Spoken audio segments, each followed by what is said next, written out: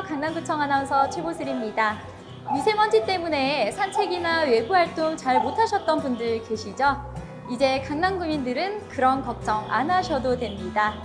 기상 상태에 구애받지 않고 산책할 수 있는 지하 정원을 만들었는데요. 전국 최초로 미세먼지 free zone을 조성해 이곳 청담역에 문을 열었습니다.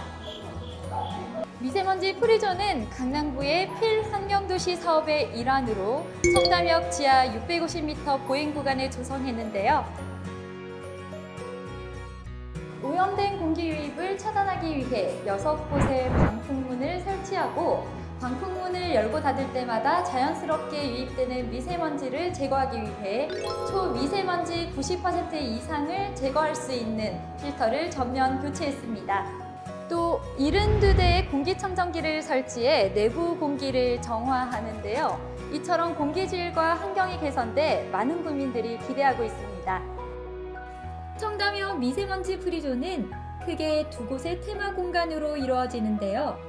3, 4번 출구 사이 약 200m 구간은 청정자연의 필수 4요소인 공기, 흙, 물, 빛을 테마로 자연 조경과 media art가 어우러져 있고 경기고 방면 180제곱미터 공간은 조명 연출에 의한 특별한 photo zone이 구성되어 있습니다.